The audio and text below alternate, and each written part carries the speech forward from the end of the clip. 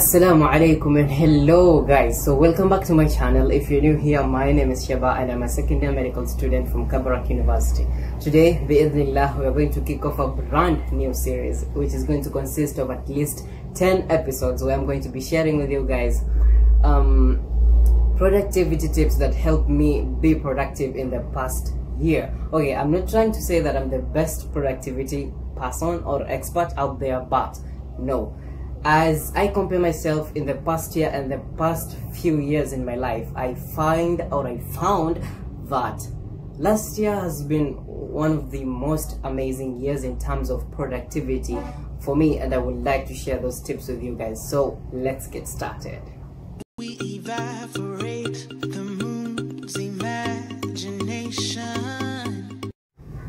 Save the day. So what do we mean by save the day? Um, try to think of this, that you're laying in bed at night and you're just blaming yourself of not doing anything during the day. You know, you haven't done anything in terms of productivity. As far as productivity is concerned, you're at 0%. So what are you going to do?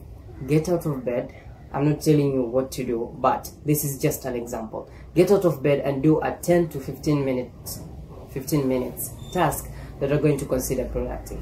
For instance, let me give you an example. You've hung out with the family the whole day and you haven't done anything in terms of productivity. But you come in bed and you realize, oh my god, I haven't studied today. What are you going to what are you going to do?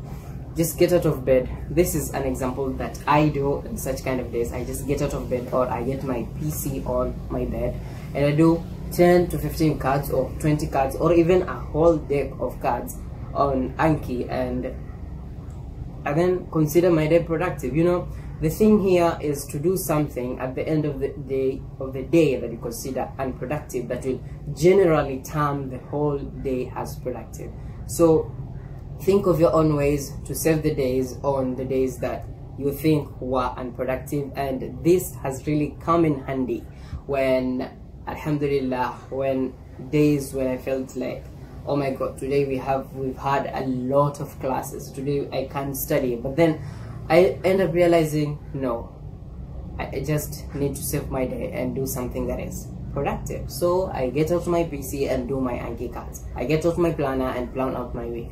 I get out my notes and plan out my youtube stuff. And and then generally considering the consider the day productive. So guys whenever you feel like oh my god i haven't done anything today just take a 10 to 15 minute task or 30 minutes to do something that will generally term the day as productive. So guys on days like that i'm not promoting laziness but on days like that save your days.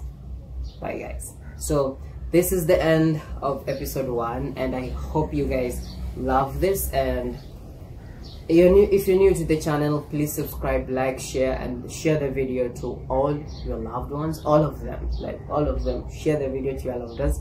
And i'll see you guys in episode two. Bye guys